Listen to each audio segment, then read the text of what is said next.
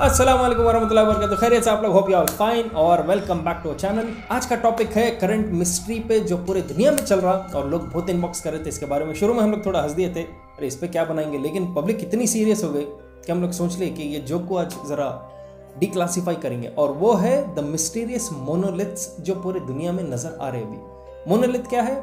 एक single curve structure रहता, पत्थर से हो मेटल से हो। अभी फ़िलहाल जो है वो मेटालिक एक सिंगल एक स्ट्रक्चर है। और खासियत क्या है? रातों रात ये गैप भी हो जा रहा। तो उसका इंस्टॉल कौन कर रहे हैं? डेजर्टेड एरिया में। एकदम जहाँ कहीं एक्सेस नहीं रहता लोगों का।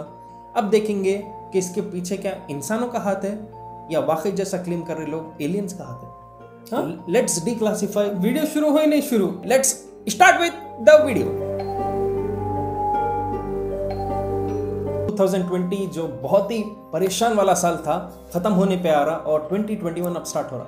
और उसके बाद आ गया ये मिस्टीरियस एलियन वाला मोनोलिथ अब पब्लिक बोल रही नको भाई वापस 2020 2020 तो ये था यूटा जो है अमेरिका में एक जगह है लोकेशन वहाँ का federal bureau of land management ये साइंटिस्ट रहते जो ज़मीन के rock formations landscapes geographic locations ये स्टडी करते तो लोग प्लेन में से जाते जाते देखे ना नीचे एक हिस्से में चमक रहा बोले वो लोग। तो ये लोग लैंड करे यहाँ पे जब जाके देखे आप ये लोग शॉक हो गए कि एक मेटालिक मोनोलिथ बना हुआ है। ऊपर से सोचेगा कोहिनूर नीचे बोले। कोहिनूर रिनो बोले यस कोहिनूर बोले होंगे माल बोले होंगे सीधा देख के। तो लैंड करने पे ये लोग परेशान ये इतना बड़ा हाइट का स्टील का ये स्ट्रक्चर है क्या? और एकदम एक डेजर्टेड एरिया डेजर्टेड एरिया और इनएक्सेसिबल टू कॉमन पब्लिक बोले लोग। मतलब कि आम आदमी वहाँ आसानी से नहीं जा सकता। तो ये लोग गए वहाँ पे इसके ऊपर रिसर्च करेंगे बोले क्योंकि उसको वैसे ही छोड़ के रखे थे लोग बोले वापस आएँगे और साइंटिस्ट के साथ और टूल्स के साथ और स्टडी करेंगे जगह को। वापस आए तो क्या हुआ? मोनोलिथ अलगायब। अलगायब। तो ये लोग वही परेशान है कि ये इंस्टॉल कौन करे थे? फिर उसके बाद जब ये लोग ढूंढ निकाले थे वायरल हो गया था क्लिप ये गायब हो गया ये यूटा जगह इंडिया में आती क्या? नहीं नहीं। अरे नहीं चंद दिन में एक चीज़ गायब हो गई तो सोचना पड़ता थोड़ा। ये नवंबर ट्वेंटी को जब गायब हो गया तो एक हंगामा स्टार्ट हो गया कि इंस्टॉल कौन करे थे? फिर ये जैसा डिस्कवर हुआ तो गैप क्यों हुआ? तीन दिन के बाद रोमानिया में भी सेम मोनोलिथ अपीयर हुआ। लेकिन ये थोड़ा सा अलग मोनोलिथ था इसके ऊपर ऐसे पूरे स्पाइरल्स बने थे।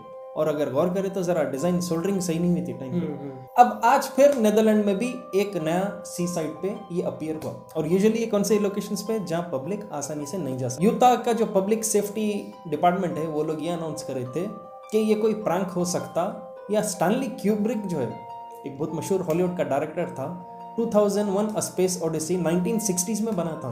और उसके ग्राफिक्स अगर देखें तो आज के टक्कर के ग्राफिक्स है। अगर आपको इनकेस पता नहीं है स्टैनली क्यूब्रिक कौन है मशहूर मून लैंडिंग का उन्हें मून लैंड होने से पहले उन्हें मूवी बना था।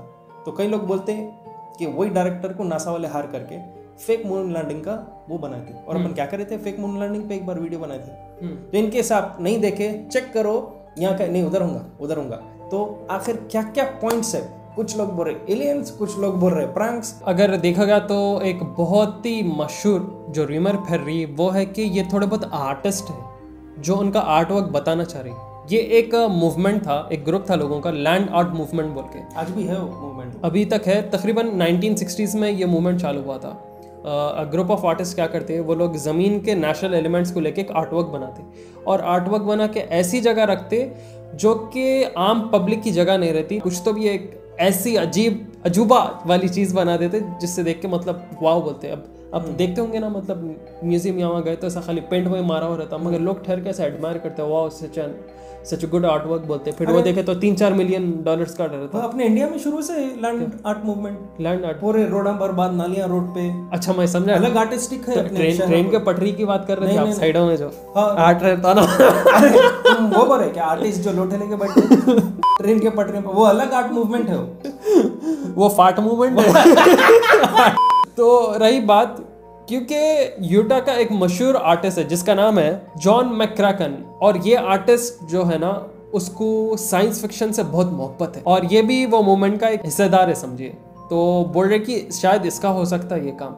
अब इसके बाद जो दूसरे कंट्री स्टेट्स में निकल रहे मोनोलिथ वो किसका आर्टवर्क है नहीं मालूम? तो एक तो आप हो सकता ना बोले ग्रुप है तो एक दूसरे को बोल रहे मैं ऐसा करता हूँ यहाँ पे मगर एक आर्ट अच्छा रहा ना वो क्या था वो वेल्डिंग मारे अब अगर देखा गया तो ये आर्टिस्ट की ऑलरेडी 2011 में मौत हो चुकी है। तो कहा जाता है शायद उन्हें मतलब उसके मरने से पहले ऐसा कुछ ख्वाहिश थी बना के या उसका कोई फ़ैन बनाया क्योंकि उसको साइंस फिक्शन से बहुत मोहब्बत थी।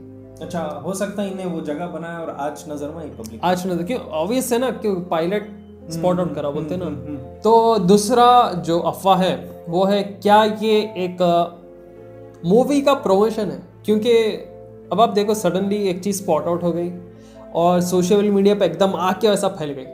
हम्म। और सडनली एक मूवी बाहर आ जाती है। हम्म। और लोग बोलते अरे भाई ये देखे थे ना अपन अरे इसकी क्या मूवी है क्या मूवी है? तो हो सकता शायद एक नई अब स्टार वॉर्स तो हम तो हम तो। देखे नहीं भाई Star Wars Star Wars fan नहीं है सॉरी अगर कोई फ़ैन है स्टार वॉर्स के तो ऐसे टाइप की कुछ मूवी या एपिसोड आ रहा तो तो ये तरीके से पब्लिक तरीके से सस्पेंस में रखा हाँ तो एक मतलब गैप भी हो गया ऐसा भी हो गया तो रहता ना स्पाइस अप अब बहुत सारे एडवर्टाइजमेंट वाले वो भी करते ना।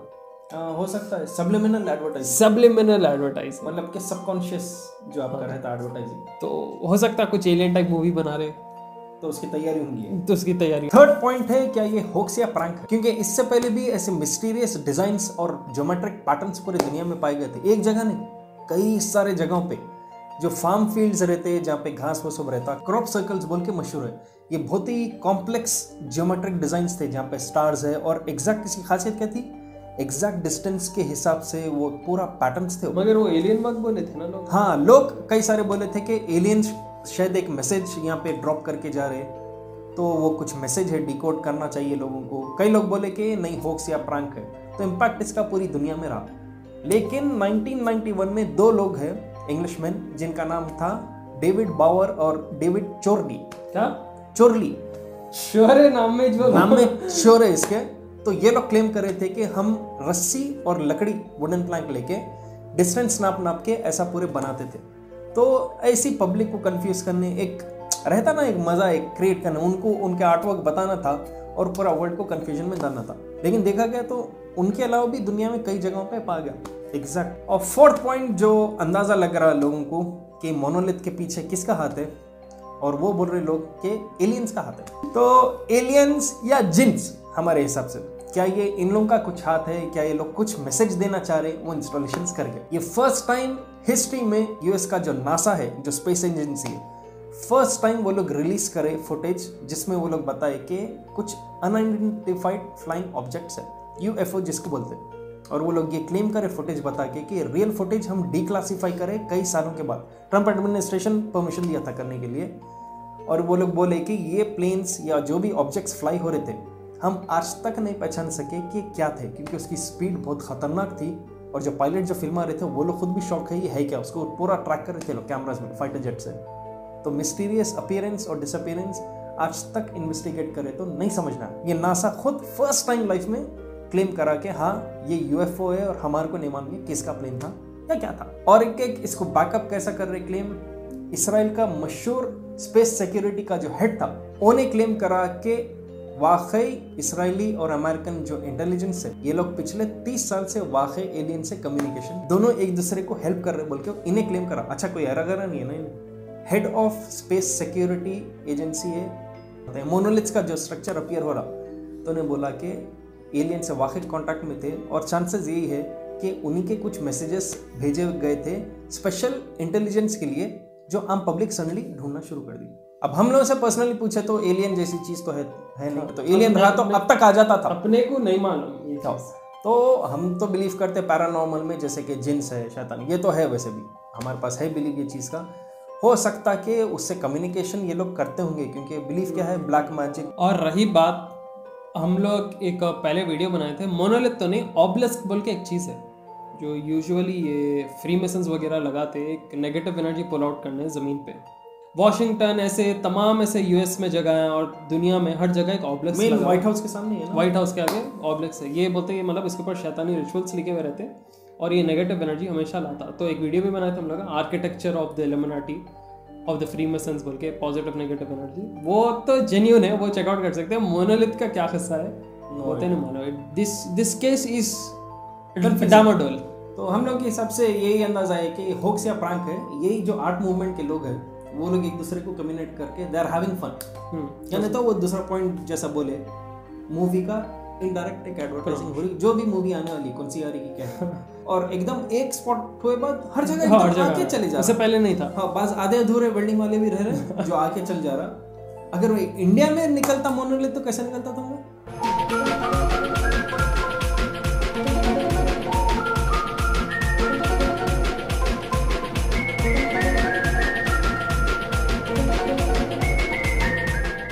पहली बात वो थूकते भी नहीं उसको ही उठा के डाल देते स्क्रैप में। स्क्रैप में नहीं बेच देते सीधा टुकड़े करके बेच सीधा टुकड़ा करके उसको डाल देते उसके बाद भाई दो डबल एप्पल दो कीवमेंट चार चार गोल्ड चार चार गोल्ड फैक बाबा छेटा जरा इतने बोल के उतने मेज कर देती है ट्रेड अपनी पब्लिक आप अपने हिसाब से कमेंट करो नीचे कि आपको क्या दिखता क्या होगा इसके पीछे कौन होंगे? और क्या राज होंगे मोनोलिथ तो होप आप लोग को वीडियो पसंद आया पसंद आया तो please make sure to share this video on WhatsApp Facebook and Instagram नहीं है तो please make sure to subscribe to our channel comment करिए नीचे कि आप नया वीडियो क्या देखना पसंद करिए। फिर आएँगे हम लोग, इंशाल्लाह जल्द एक नई वीडियो के साथ। Till then take care and मासलाम